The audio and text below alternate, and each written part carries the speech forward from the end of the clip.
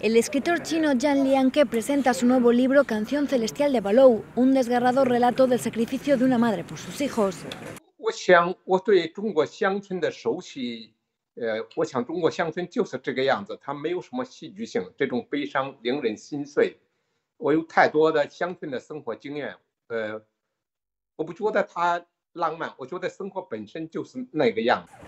Liang Ke, que actualmente da clases en la Universidad de Hong Kong, ha sido censurado y autocensurado en múltiples ocasiones, y muchos de sus libros no están disponibles en China, mientras que los más críticos le acusan de escribir novelas para extranjeros.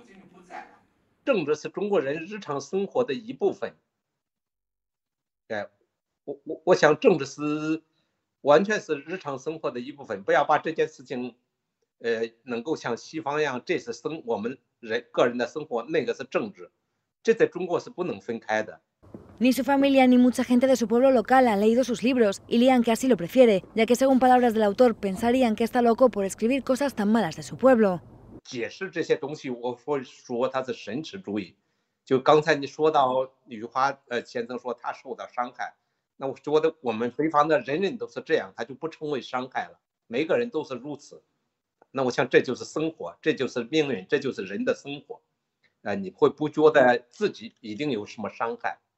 呃，先生说他受到伤害，那我觉得我们北方的人人都是这样，他就不成为伤害了。每个人都是如此。那我想这就是生活，这就是命运，这就是人的生活。呃，你会不觉得自己一定有什么伤害？呃，我想，就是如果把我家乡那一块生活，我对生活的理解放到到全世界，你会觉得这是一个超现实的。但回到每一块土地上，那个地方它就是真实的。En el futuro planea escribir algo sobre la pandemia y hacer un alegato por la memoria para no caer en el olvido, que según Lian que es nuestra verdadera enfermedad colectiva.